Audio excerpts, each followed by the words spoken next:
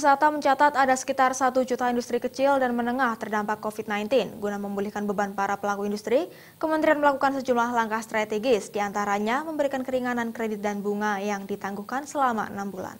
Sejak pandemi COVID-19 melanda tanah air pada Februari lalu, ekonomi Indonesia terus tertekan. Salah satu industri yang paling terdampak pandemi yakni di industri kecil menengah.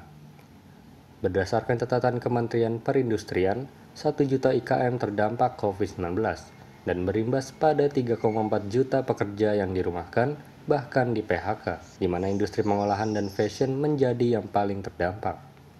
Dirjen Industri Kecil Menengah dan Aneka atau IKMA Kementerian Perindustrian, Gati Wibawaningsih mengatakan, untuk memulihkan beban para pelaku industri, pihaknya telah melakukan sejumlah langkah strategis, di antaranya memberikan keringanan kredit dan bunga yang ditangguhkan selama enam bulan, hingga memberikan sejumlah pelatihan bagi IKM yang berdampak secara virtual serta memberikan bantuan mesin dan peralatan produksi melalui restrukturisasi mesin bagi IKM.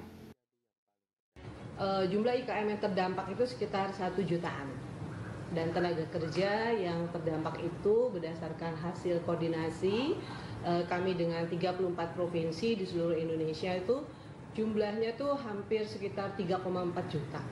Nah, uh, untuk me, me, apa, membantu mereka bagaimana mereka menghadapi uh, pandemi COVID ini, uh, kami melakukan beberapa kegiatan.